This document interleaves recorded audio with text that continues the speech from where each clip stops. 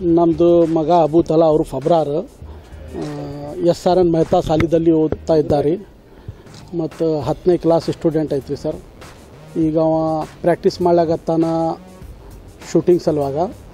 ಈಗ ಗುಡ್ಗಾಂವ್ ಹರಿಯಾಣ ಹತ್ರ competition ಇದ್ದಿದ್ರಿ sir all India national competition ಅದರದಲ್ಲಿ two thirty seven qualify ಆಗಬೇಕಿದ್ದಿದ್ರಿ. ಅವ ಎರಡು ನೂರು ನಲ್ವತ್ತು ಹೊಡೆದ ಅದರದಲ್ಲಿ ಕ್ವಾಲಿಫೈ ಆಗ್ಯಾದ ಪ್ರೀ ನ್ಯಾಷನಲ್ದಲ್ಲಿ ಮತ್ತು ಕ್ವಾಲಿಫೈ ಆಗಾದ್ಮ್ಯಾಗ ನ್ಯಾಷನಲ್ದಲ್ಲಿ ಸೆಲೆಕ್ಟ್ ಆಗ್ಯಾನ ರೀ ಸರ್ ಸೆಲೆಕ್ಟ್ ಆಗಿದ್ಮ್ಯಾಗ ನ್ಯಾಷನಲ್ದಲ್ಲಿ ಫೋರ್ ಸೆವೆಂಟಿ ಫೈವ್ ಹೊಡಿಬೇಕಿದ್ದಿದ್ರಿ.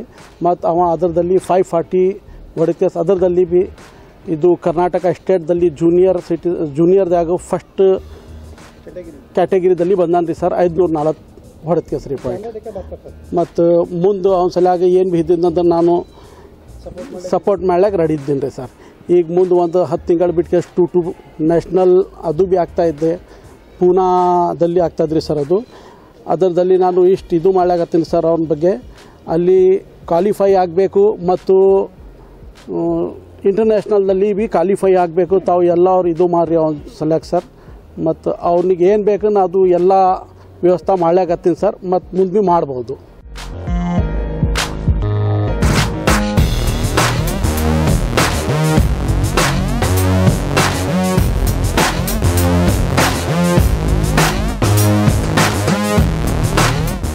ಇವ್ರು ನಮ್ಮ ಇಂಡಿಯಾ ನ್ಯಾಷನಲ್ ಲೆವೆಲ್ ಕಾಂಪಿಟೇಷನ್ ಹೋಗ್ಬೋದು ಅಂತ ಭಾಳ ದಿವ್ಸಲಿಂತ ವಿಚಾರ ಇತ್ತು. ಅದರ ಸಲಾಗ ನಮ್ಮ ಡ್ಯಾಡಿ ಅವ್ರ ಹತ್ರನೂ ವೆಪನ್ ಇತ್ತು ನಮ್ಮ ಬ್ರದರ್ ಹತ್ರನೂ ವೆಪನ್ ಇತ್ತು ನಮ್ಮ ಹತ್ರನೂ ವೆಪನ್ ಇದೆ. ಅದಕ್ಕೋಸ್ಕರ ಇವ್ರಿಗೂ ಭಾಳ ಅದಕ್ಕೆ ನೋಡಿ ಆಗಿದೆ. ಅದು ನೋಡಿ ಇವ್ರನ್ನೂ ಮನೆಯಲ್ಲಿ ಏರ್ಗನ್ ತೊಗೊಂಡು ಸುಮಾರು ಟೈಮ್ ಪ್ರಾಕ್ಟೀಸ್ ಮಾಡ್ತಾ ಇನ್ನ, ಮಾಡ್ತಾ ಇದ್ದೇ ಇರ್ತದ. ಯಾವಾಗೂ ಸಾಲಿ ಚುಟ್ಟಿ ಇದ್ದಾಗ ಹೊಲಗೆ ಹೋಗಿ ಅಲ್ಲಿ ಪ್ರಾಕ್ಟೀಸ್ ಮಾಡಬೇಕು, ಮನೆಯಲ್ಲಿ ಇದ್ದಿರಂದ್ರೆ ಮನೆಯಾಗ ಪ್ರಾಕ್ಟೀಸ್ ಮಾಡಬೇಕು. ಪ್ರಾಕ್ಟೀಸ್ ಮಾಡಿ ಈಗ first time India level match ನಾಳ್ಲಾಗೂ ಹೋಗಿದ ಇವ ಹುಡುಗ. ಹರಿಯಾಣನಲ್ಲಿ ಒಂದು ಖಾದರ್ಪುರ್ ಅಂತ ಕೇಸಿ ಊರಿದೆ. ಅಲ್ಲಿ ಆರ್ಮಿ ರೇಂಜ್ ಇದೆ, C R P F range ಇದೆ. ಅದರಲ್ಲಿ ಕಾಂಪಿಟೇಷನ್ಸ್ ಇತ್ತು ನ್ಯಾಷನಲ್ ಲೆವೆಲ್ ಅದು ಪ್ರೀ ನ್ಯಾಷನಲ್ ಅನ್ಕೇಸಿ ಕೇಸಿ ಒಂದು ಗೇಮ್ ಇತ್ತು. ಅದ್ರ ಸಲಾಗಿ ಈ ಹುಡುಗ ಆಡ್ಯಾನ. ಅದ್ರಾಗ three hundred out of two forty three score ಹೊಡೆದಾನ ಇವ. ಅದ್ರಾಗ ಅದರಲ್ಲೇ ಟೂ ಥರ್ಟಿ ಸೆವೆನ್ಗೆ ಕ್ವಾಲಿಫೈ ಇತ್ತು. ಅದರಲ್ಲಿ ಟೂ ಫಾರ್ಟಿ ತ್ರೀ ಹೊಡೆದಾನ. ಅದು ಅದರಲ್ಲೇ ಕ್ವಾಲಿಫೈ ಆಗಿ ಮತ್ತು ನ್ಯಾಷನಲ್ ಲೆವೆಲ್ ಗೇಮ್ ಆಡಿ, ಆಡಿದ, ಆಡಿದಾನ.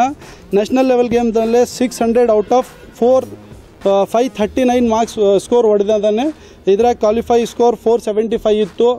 ಇವತ್ತು ನನಗೆ ಭಾಳ ಖುಷಿ ಇದೆ.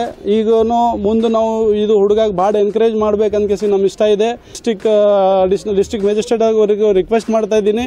ನಮ್ಗೆ ಇದು ಪ್ರಾಕ್ಟೀಸ್ ಮಾಡ್ಲಿಕ್ಕೂ ಬ, ತಿರ್ಗಾ ತಿರ್ಗಾ ತಿರ್ಗಾ ಹೈದರಾಬಾದ್ ಹೋಗ್ಬೇಕಾಗ್ತದೆ. ಯಾಕಂದರೆ ನಮ್ಮ ಗುಲ್ಬರ್ಗನಲ್ಲಿ ಶೂಟಿಂಗ್ ಕಾಂಪಿಟೇಷನ್ ರೇಂಜ್ ಇಲ್ಲ. ಪ್ರಾಕ್ಟೀಸ್ ಮಾಡ್ಲಿಕ್ಕೆ ಭಾಳ ಕಷ್ಟ ಇದೆ.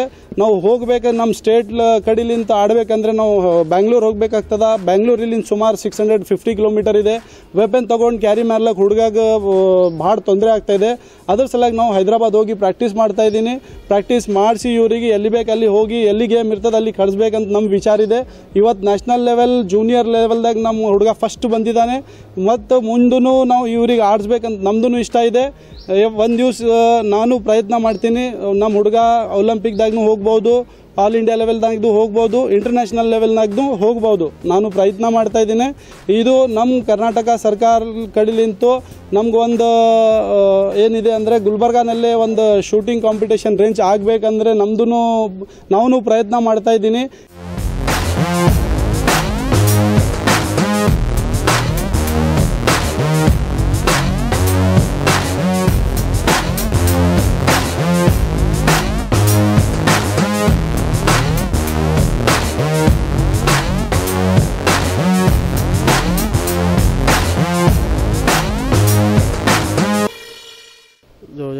शूटिंग कंपटीशन में क्वालिफाई हुए हैं। प्री नेशनल इवेंट और national event free rifle prone big bore events में 300 मीटर इसमें जो है ना, उन्होंने क्वालिफाई किया है जूनियर्स में। तो हम लोग रिप्रेजेंट किए हैं तेलंगाना स्टेट को और हम लोग चाहते हैं कि हम लोग अपने स्टेट को भी प्रेजेंट करें, कर्नाटका को। लेकिन हमारे पास कोई सुविधा नहीं है हैदराबाद, कर्नाटका रीजन के लिए। है राइफल एसोसिएशन लेकिन वो बेंगलुरु में है। तो हम चाहते हैं, शायद यहाँ पे हो तो रेंज की कमी है हमारे पास। और जो है ना, तेलंगाना में बहुत ज़्यादा सपोर्ट है हमारे को। बहुत अच्छा सपोर्ट है वो लोग।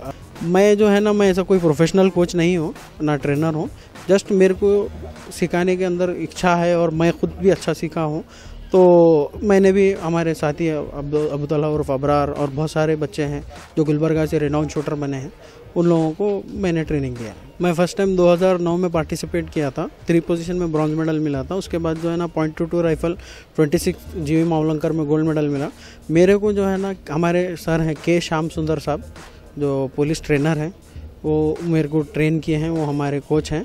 और वो हैदराबाद, तेलंगाना के रहने वाले हैं।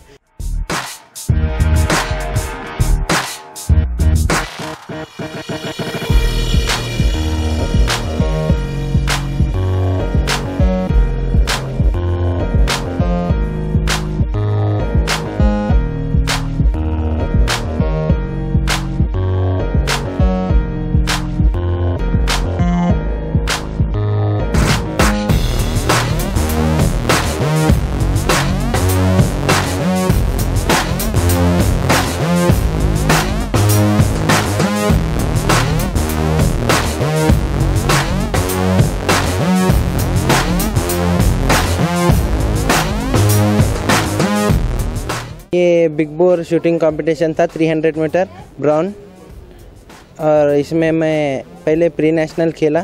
प्री नेशनल में 237 था क्वालिफाइंग स्कोर मैं 243 मारा।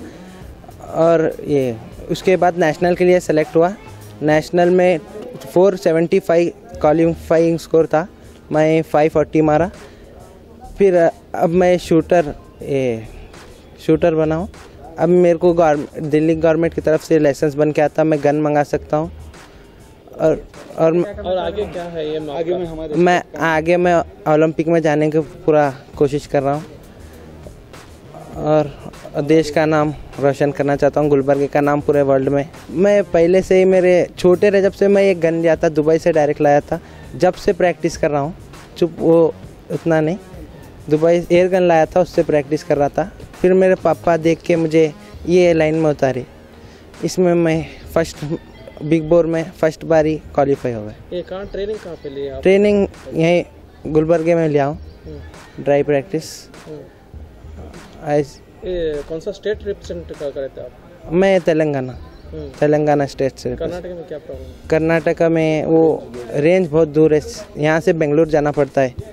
यहाँ हमें हैदराबाद नज़दीक होता है इसके लिए तेलंगाना से।